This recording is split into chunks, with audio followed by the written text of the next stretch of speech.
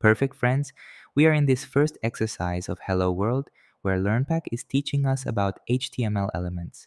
LearnPack is telling us that HTML elements consist of an opening tag, a closing tag, and the content within the HTML element.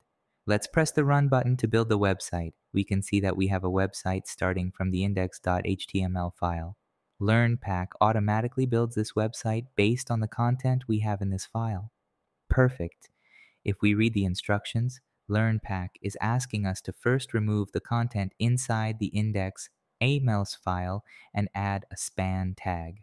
When I add the opening tag for the span, Visual Studio Code automatically adds the closing tag.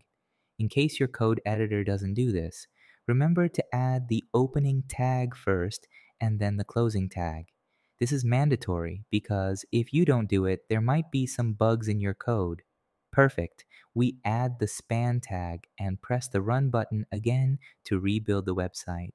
Lastly, we are going to add the second tag, in this case, a strong tag, and inside it, we will add the text that LearnPack is asking us to add.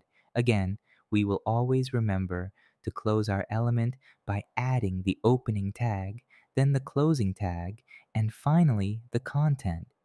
We build our website again and see that the text that appears, the content that appears, is exactly the same as the expected result we have here. So let's press the Run Test button to test our code.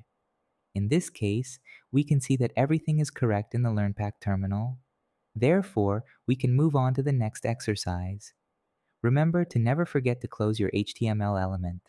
The opening tag will always come before the closing tag.